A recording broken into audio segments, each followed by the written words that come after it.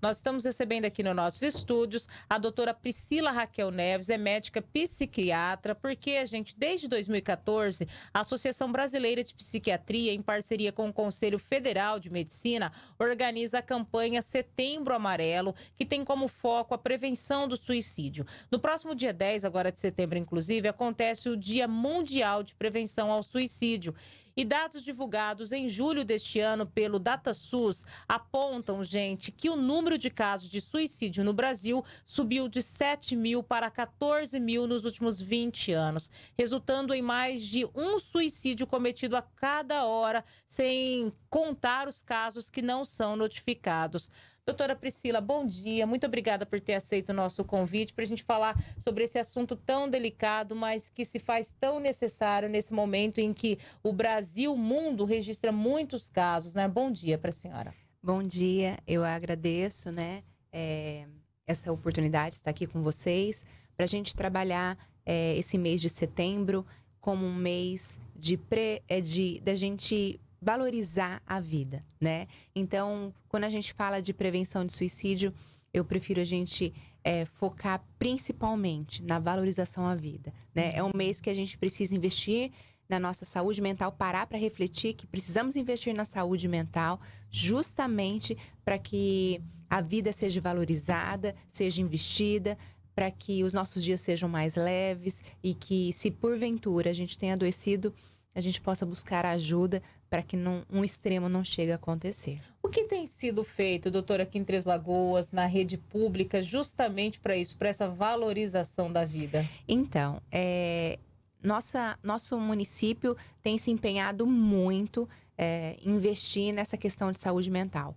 Hoje, a Prefeitura de Três Lagoas redirecionou né, os atendimentos da saúde mental. Em cada unidade básica de Três Lagoas, hoje existe um profissional é, de saúde mental específico só para acolhimento na área de saúde mental. Então, ele está ali específico para isso. Então, se um paciente chega num posto de saúde com essa demanda psíquica, é, ele é direcionado para esse profissional. Esse profissional vai acolher esse paciente e vai direcionar esse paciente.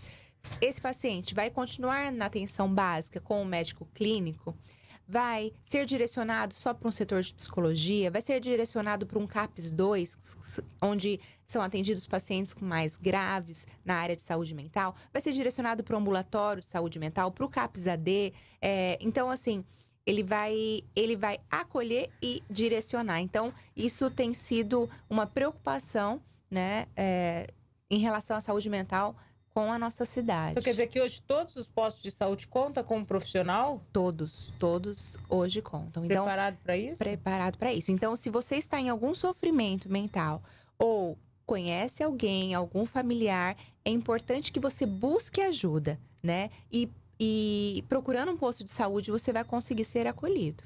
É porque muitas pessoas têm colocado, ah, mas se demora para você conseguir uma consulta com um psiquiatra, com um psicólogo, para ter esse atendimento. Mas no posto de saúde ele não faz todo esse tratamento já, né, doutora? É, é porque hoje já existe esse profissional específico, porque aí o que, que ele faz? Ele escuta esse paciente e já direciona para o setor que ele deve ser direcionado. Então, dependendo da gravidade, existe uma escala de gravidade. E aí, ele consegue ou não é, estar na lista, vamos dizer assim, mais rápido ou não, dependendo da gravidade. Igual, por exemplo, quando você vai na UPA, se o seu caso é mais grave, você não vai ficar esperando ali, né, com uma pressão 20 por 12, por exemplo, né? uhum. Então, é, existe toda uma escala de gravidade e esses profissionais são treinados para fazer esse, esse direcionamento. E como que tem sido em Três Lagoas? Houve um aumento, uma procura aumentou nos postos de saúde, enfim, as pessoas em busca de ajuda, de algum apoio, doutora? Olha, a gente tem que entender que não só em Três Lagoas, né? O mundo hoje, é, frente a todo o estilo de vida que nós temos levado, tem adoecido psiquicamente com mais facilidade. Hoje, é, nós temos que trabalhar essa desconcretização de que psiquiatra e psicólogo é coisa de doido, por exemplo né? E nós temos que entender que se você percebe que você não está bem, é, é, você tem que procurar uma ajuda, né? Então tem aumentado porque o preconceito tem reduzido. Então a gente é, isso leva as pessoas a procurarem mais. Mas, Mas ainda também... tem muito isso, as pessoas que tem. acham que psiquiatra é coisa de doido. Sim, tem, tem. E tem muita, é, muita gente que às vezes não, não apoia o paciente que está sofrendo, acha que é frescura acha que é bobagem e não valoriza as emoções, o sentimento da pessoa, né? E nós precisamos valorizar né? Valorizar o quê? Uma mudança de comportamento, um isolamento social, a tristeza, uma perda de peso importante. É... A pessoa acaba deixando de ir alguns dias no trabalho, ou vai no trabalho e você percebe que ela já não é mais a mesma. Então, nós começamos a observar várias alterações no comportamento da pessoa que são sinais que ela não está bem, ela precisa ser ajudada. Né?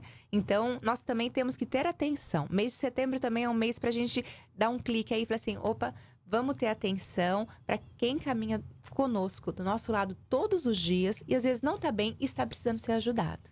As pessoas têm essa dificuldade para perceber isso quando alguém está realmente precisando de ajuda ou está num quadro de depressão, doutora? É, o egoísmo, a rotina, a correria não nos faz olhar um para o outro.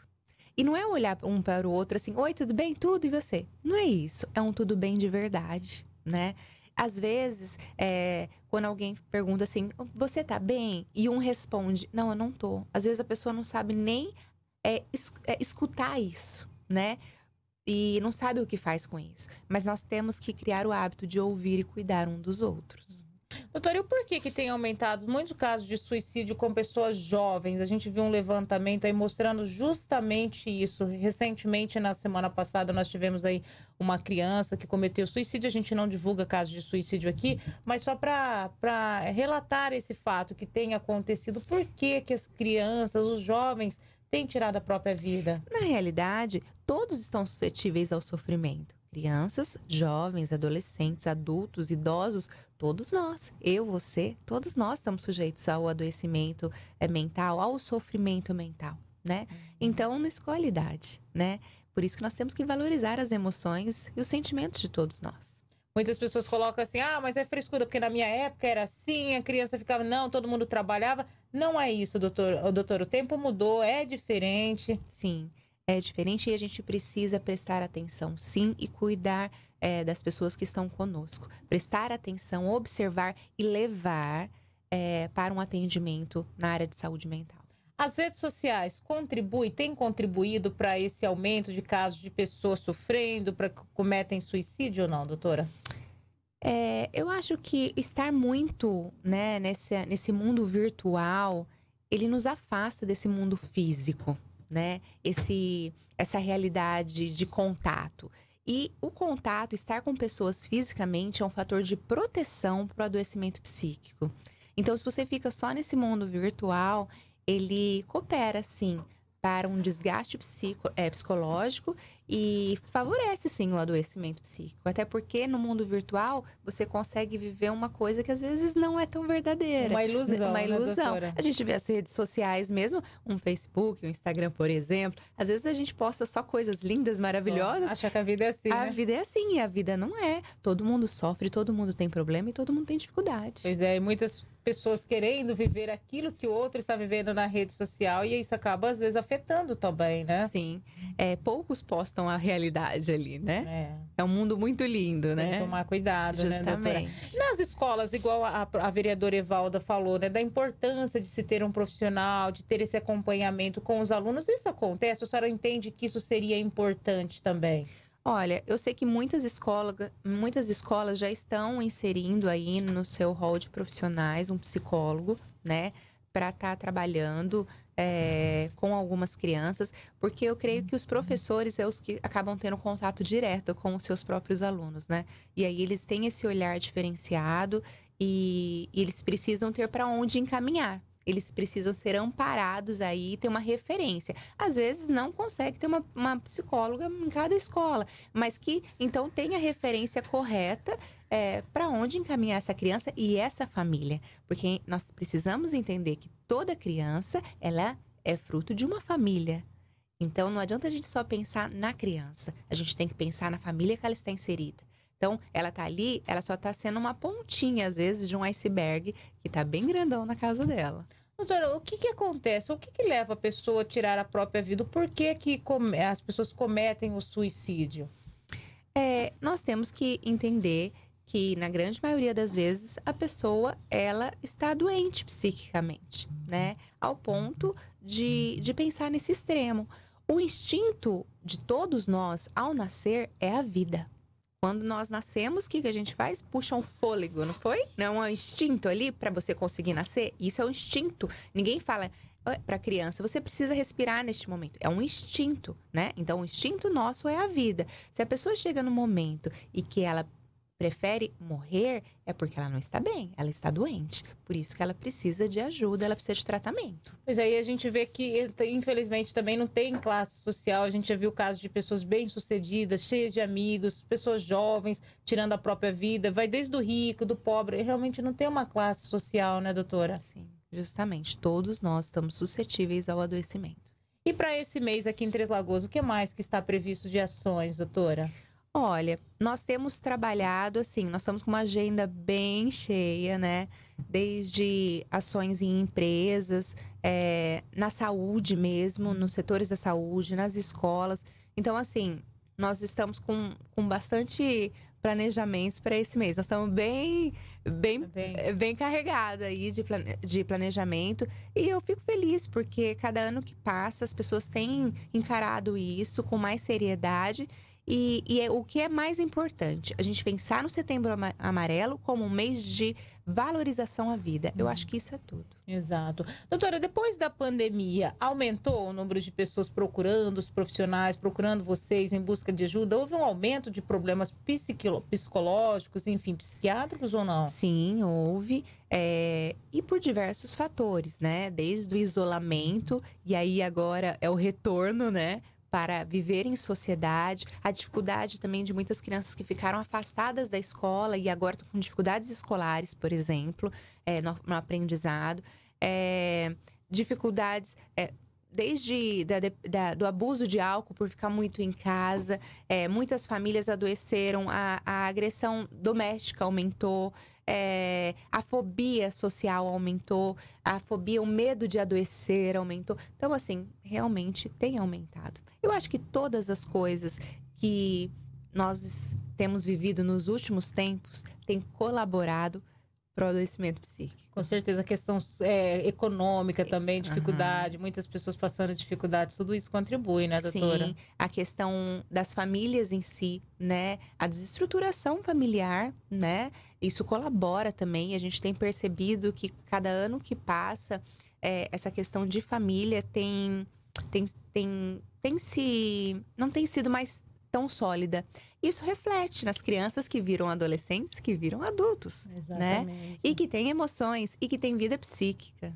A senhora entende que a religião, doutora, buscar as igrejas, enfim, a fé, se apegar mais com Deus, isso ajuda, colabora, doutora? Olha, existem estudos que comprovam que pessoas que têm fé e que vivem em igreja, pelo fato de viverem em comunidade com pessoas, elas conseguem melhorar é, mais rápido, né, psiquicamente falando, frente a uma doença mental, do que outras que não têm fé e vivem isoladas. A senhora defende ainda o uso de medicamentos, né? Porque tem muitas pessoas que falam: ah, não, eu não vou, vou lá no psiquiatra, eles vão me receitar medicamento para ficar dormindo, enfim, para acalmar. A senhora defende o uso do medicamento, de que maneira? E, e houve um aumento de pessoas é, tomando medicamentos por conta desses problemas? É, nós temos que entender que não é todo caso que precisa de medicação. Não adianta a gente querer tratar uma tristeza, um luto, uma perda, uma fase difícil da vida com remédio.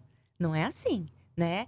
Por isso que você precisa procurar um profissional de saúde mental que vai te ouvir e vai ver se vai realmente é, é, vai ter essa necessidade ou não de uso de medicação. Então nós temos que ter cuidado, porque às vezes, por exemplo, uma família passa por uma perda importante, uma tragédia. Não necessariamente você precisa medicar isso. Você concorda que é óbvio que essa família vai sofrer e você precisa permitir esse tempo de elaboração de luto para essa pessoa.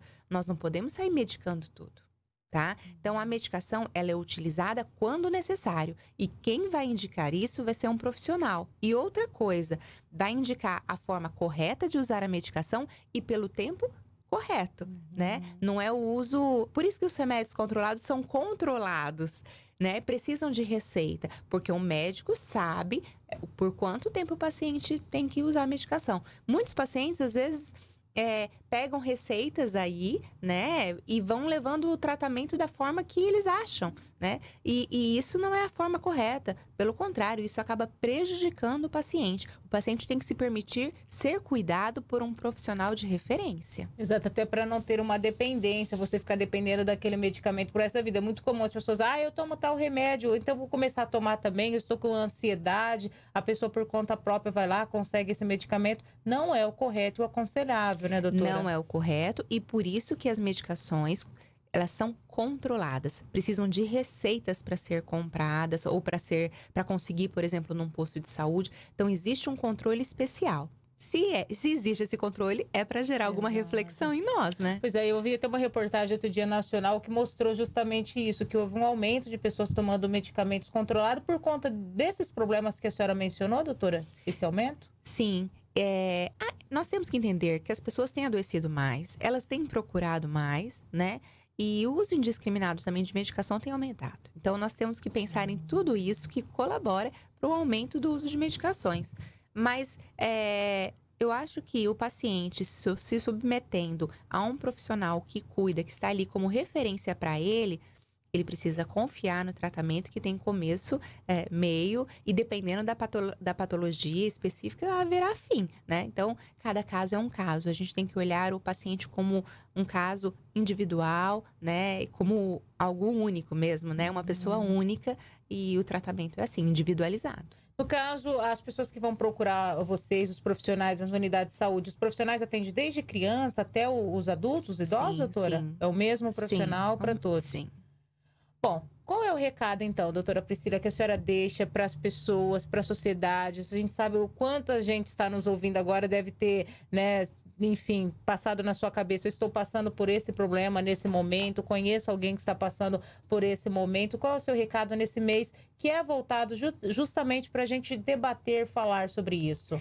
Bom, o meu recado é, é aprenda a, a pedir ajuda se você não está bem, né? É, se permita ser cuidado e passar momentos difíceis também e procurar um profissional específico para te ajudar. É, tudo pode se tornar mais leve, o tempo de sofrimento pode ser encurtado e pessoas precisam de pessoas. Não adianta a gente querer se isolar é, e sozinhos tentar superar tudo. Nós precisamos ser ajudados. E outro, se você tem visto que alguém caminha com você não está bem, leve essa pessoa também para receber um atendimento, para receber cuidados, para que um extremo não venha acontecer e para que esse tempo de sofrimento possa ser abreviado com um tratamento adequado e para que a pessoa viva dias melhores. Verdade. Quando alguém fala, ah, vou tirar minha própria vida com vontade, que alguém não acha que isso é frescura. Quando alguém fala, estou com depressão, que não acha isso que é frescura, né, Justamente. Doutora? Nós temos que valorizar a vida, valorizar o próximo, olhar realmente um para os outros, né? Não nessa vida superficial de egoísmo, cada um na sua rotina, na sua loucura. Nós precisamos parar e olhar para o próximo. Com certeza. Bela mensagem nessa manhã. Obrigada. Obrigada a vocês. Doutora? Obrigada.